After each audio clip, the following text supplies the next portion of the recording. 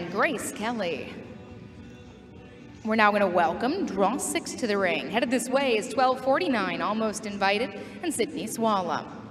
Almost Invited is a 2015 gelding sired by invitation only and out a fistful of goodness. Bred by Deborah Truby, Sydney Swallom showing from Scottsdale, Arizona.